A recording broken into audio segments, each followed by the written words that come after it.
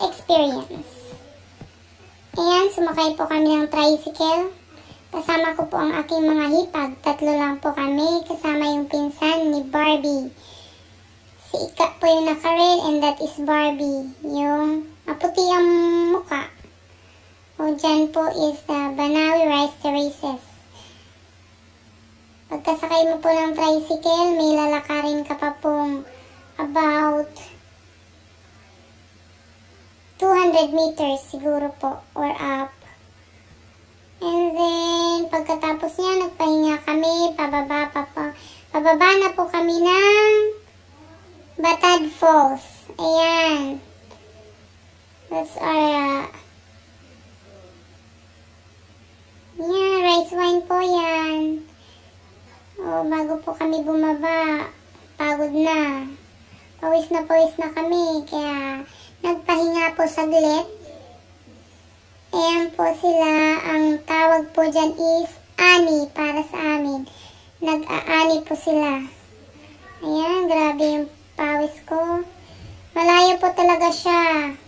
Pababa nga siya pero nakakasakit po siya ng paa, ng binte. Ayan po. Pagkatapos bababa ka po po ng baba. Ayan po, ayan po. Nakarating na po kami. At last, sobra po talaga nakakapagod kasi pababa po talaga siya. Kung mahina po ang tuhod ninyo, talagang mahihirapan po kayo.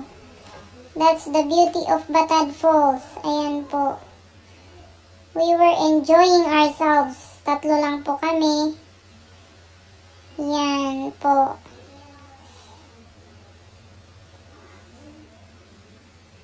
Taking pictures, of course. That is to preserve our memories with Batad Falls. Ganyan po siya kaganda.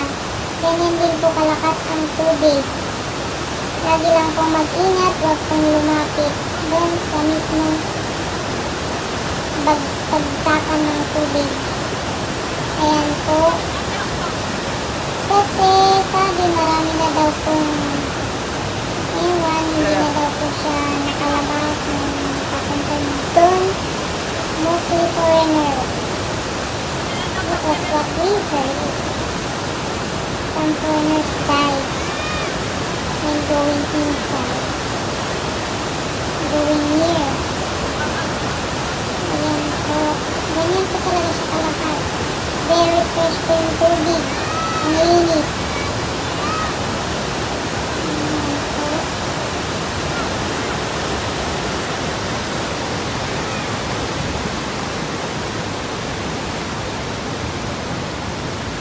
Okay. Pauwi na po kami. Kasi, ang oras na din po.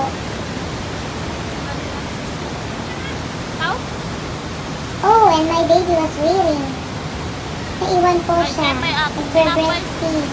Ah, We're going home na. Bye-bye! Ito na po nagtatapos ang aming Batad Falls experience. Thank you for watching!